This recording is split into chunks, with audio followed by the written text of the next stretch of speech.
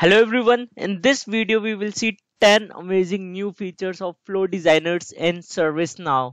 I'm really excited about these features because few of them we really needed while we were developing our Flow Designers. So stick around and watch all these 10 new features and they would really really help you while you are developing these Flow Designers. Welcome to my YouTube channel. My name is Hardit Singh and if you're liking my content, please subscribe to my channel and don't forget to hit that like button. So this is the agenda of this video. We will be discussing all these 10 new amazing features of ServiceNow. And if you want to jump to any specific topic, I have provided the links in the description. The first feature is the Workflow Studio where ServiceNow has now consolidated all of these features of ServiceNow for automation under one roof. So playbooks, flow designer, action designer, integration hub and decision builder are now available on one screen. I'll just quickly show you in my ServiceNow instance. You just have to go to all and type here workflow studio and you would see under process automation the workflow studio.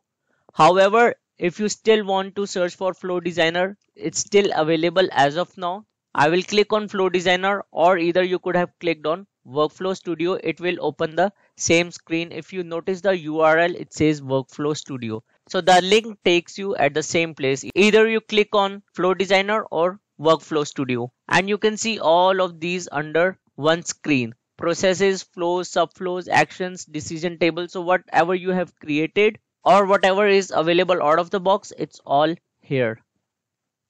In the second feature, ServiceNow has introduced new trigger conditions, which unfortunately we will not be able to see on our PDIs because performance analytics is not enabled on PDIs.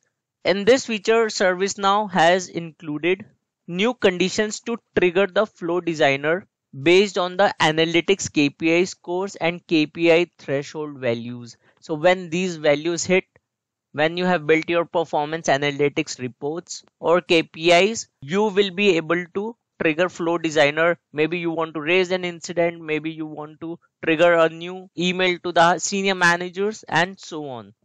Next is what all the developers are loving around the world is undo and redo. This was really, really needed because people were adding or removing steps by mistake or maybe intentionally and they just wanted to add them again and that feature wasn't there then you have to do it from the scratch so now undo and redo have been introduced in flow designers finally and it's an amazing functionality. Let's go into ServiceNow and quickly see that. I will go into one of the existing flows which i have created called hardit content 2 so i have created this for demo here. And you would see there are few steps already here. Let me try deleting this step number one called send email. For this, I will have to click on edit flow, which we will come to later. I will delete this step. And now you would see there are two new buttons available at the top called undo last action and redo as well.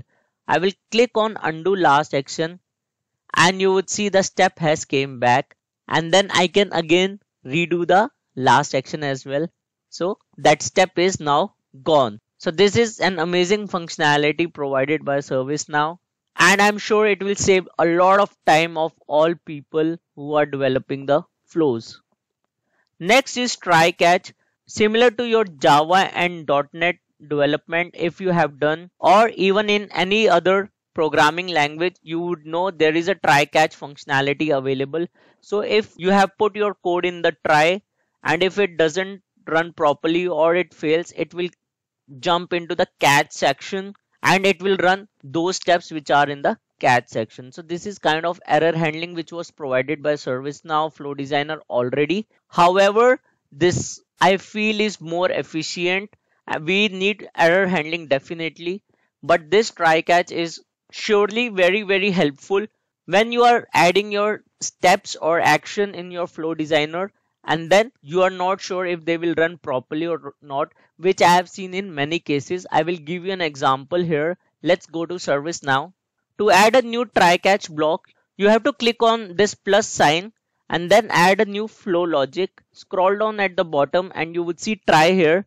Just go ahead and add try and you would see you can add the steps which you want to include in the try block and then if any error occurs on step 2 so that is in the try block then ServiceNow will run these steps which are in the then part of this try catch statement. So this step number three is the catch block of try catch statement. I will just remove this as of now because I have already added one try and catch here. So what I'm trying to do here is I'm trying to send an email in the try block. And if I click on this I've done a weird thing here. In the to field i am actually not using any email field. I'm just using an actual start which is type of date and time.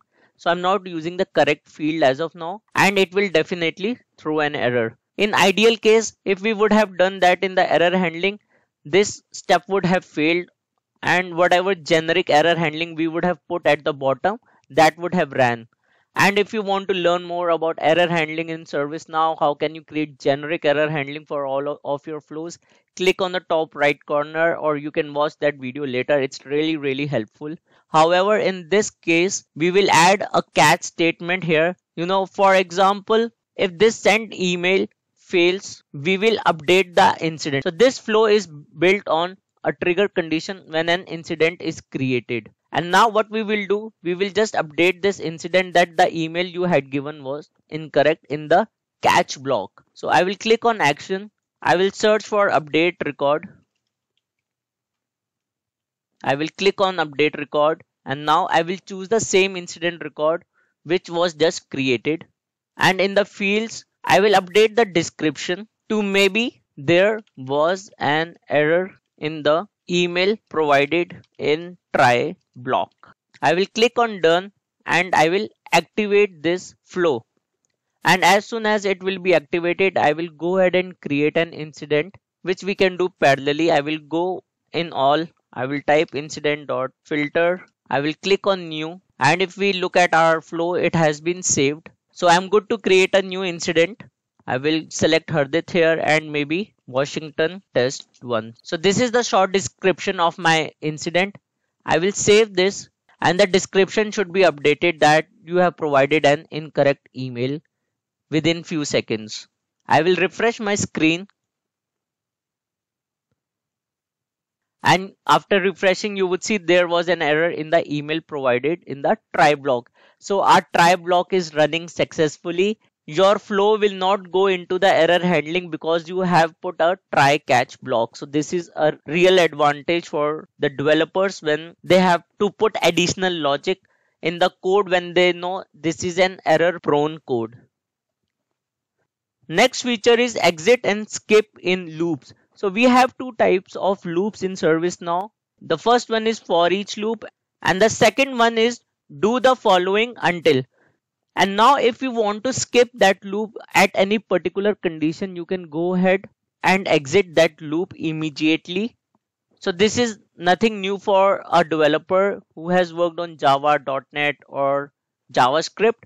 This was already there but ServiceNow has introduced that now in the loops as well so at any particular point of time and at any condition if you want to exit that loop just go ahead and use this exit functionality Similarly, in the skip, if you want to skip the current iteration of the flow logic, when you have a condition which is met, so you have to put a condition in the if loop that at this particular time or at this particular condition, this iteration should not run. So you just put an if there and it will skip that iteration and move on to the next iteration. And if you want to learn more about loops in ServiceNow, that link is on the top right corner and in the description as well. And I will make a separate video on exit and skip functionality of these loops because if I do it in this video, this video will become very long.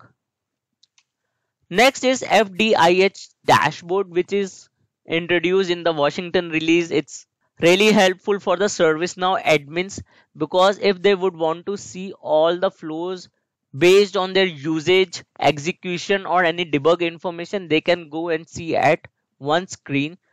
Also, you would be able to see the status of the integration hub transactions as well. And this access is right now only given to the admins. You can give it to other people as well, but I would rather give it to only admins, which is out of the box.